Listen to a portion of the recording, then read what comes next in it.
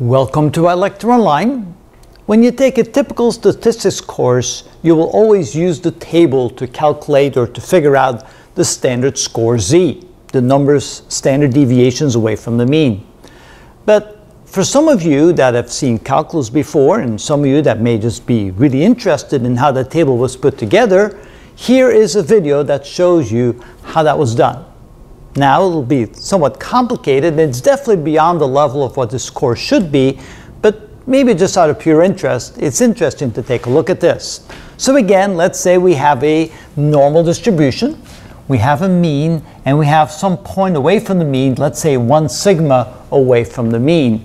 And we want to calculate the area underneath the curve and of course, if you go to look that up on the z table, 1 sigma will give you 0.34134, which is 34.134%. That represents the area underneath the curve for this region.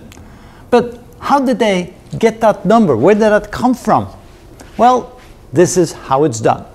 So first of all, the area underneath the curve is defined by this equation right here. So that's the equation. It's 1 over the square root of 2 pi times 1 over sigma times the integral from 0 to z sigma. Remember, z is the number of sigmas away from the mean. So in this case, we're going to use an example where z is equal to 1. And it's the integral of e to the minus x squared over 2 sigma squared dx. So it's simply integrating underneath this curve, and this curve is defined by that particular equation. Now, it turns out that the integral from 0 to b, b being any number, of e to the minus ax squared can be defined as 1 over half, or 1 half, times the square root of pi over a times the error function of b times the square root of a. Now, in this case, b is going to be 1 sigma, because that's the limit. The limit is going to be from 0 to 1 sigma, and a is 1 over 2 sigma squared, because if you replace 1 over 2 sigma squared by a, you get this relationship right here. So now we have a relationship for a and b in this general equation. So we know that the integral of this equals that. Now what is the error function of some number? Well, here, the error function of some number, let's call it x, x in this case is b times the square root of a, is equal to 2 over the square root of pi times this infinite sum. The first term is x. The next term is minus x cubed over 3. The next term is plus 1 over 2 factorial times x to the fifth over 5. Then minus 1 over 3 factorial x to the 7 over 7. Plus 1 over 4 factorial x to the 9 over 9. And on and on like that to infinity, an infinite number of terms. Of course, we don't have to do an infinite number of terms. We can do just a certain number of terms to get a close enough value. So now we need to apply this. So first of all, area equals 1 over the square root of 2 pi times 1 over sigma times the integral of e to the minus ax squared. So we wrote it in this format so we, we can replace this portion right here by what that's equal to. So this portion becomes this right here, which is defined right there. Okay, now we have to do a little algebra. Hmm? Oh yes, I'm missing a dx. Thank you. All right, there we go. Thank you. I was missing my dx. Um, now we do a little algebra.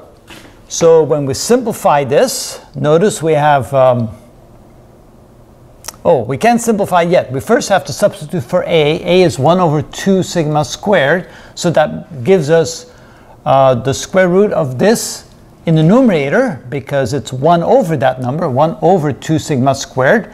That puts 2 sigma squared in the numerator. It's still a neat radical. And then b becomes 1 sigma. And a again becomes the square root of a becomes 1 over 2 sigma squared. And of course, that's underneath the radical. So we first replaced a and b for their proper values right there.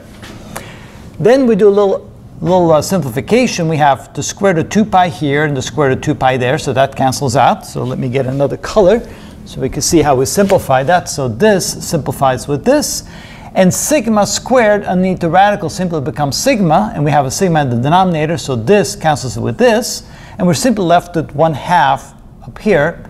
Now we have the error function of Notice that this sigma squared in the radical and this sigma cancels out, and we're left with the square root of 1 over 2, or simply 1 over the square root of 2. It's the same thing. So now we have to evaluate this, and of course 1 over the square root of 2 is approximately 0.707. And then if we then apply this to our general expression of our error function, in this case, remember that x is now represented by 1 over the square root of 2, which is approximately 0.707. So we make that substitution for x.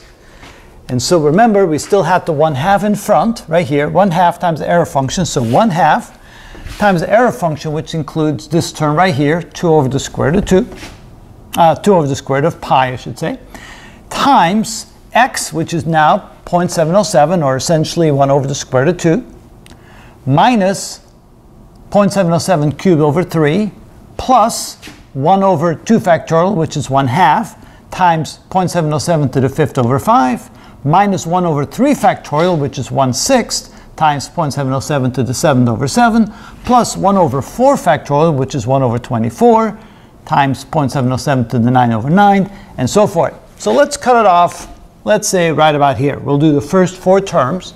Remember that we already know that this area should be about 34.134%. Let's see how close we get, and I am going to use this instead of that so we don't get a round off error. All right, so what does that look like?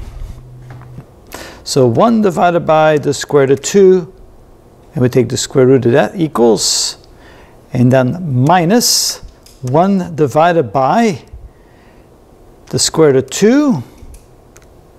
We raise that to the third power and divide by 3. Okay? Now we go plus 1 divided by the square root of 2 to the fifth power divided by 10.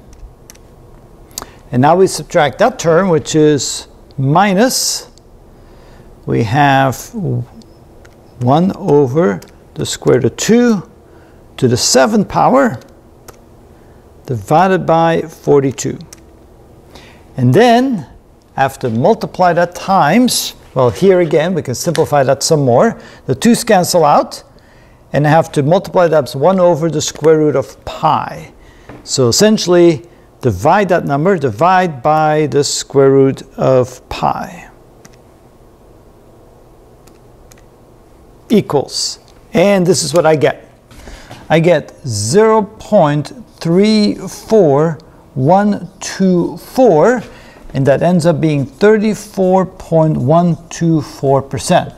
And notice, by only taking the first four terms, I get the exact same result as I get in the table. So what we could do, instead of using the table, we could actually calculate the z-score, the standard score, using this general equation anytime we want. Now, of course, using the table is a whole lot faster and easier, and it does exactly the same thing. Essentially, every number in the table was calculated using this exact method. They probably used a computer, of course, to do that, not by hand, because it would take a very long time to do it by hand. But this is indeed how it's done if you didn't have the table. Quite, quite a mess, but it works actually beautifully. Just think, you go to the exact equation that represents the curve, you integrate to get the area, you replace the error function by what the error function is defined as, you plug in the correct numbers, and voila, the number from the table pops right up, the exact same number. Ooh, wait a minute. One, two, four. Ooh, it's not exactly the same, is it? It's one, three, four over there, and one, two, four over there. I was close, not quite exactly the same. So maybe I needed to go one more term to get even closer than that. Oh well, close enough.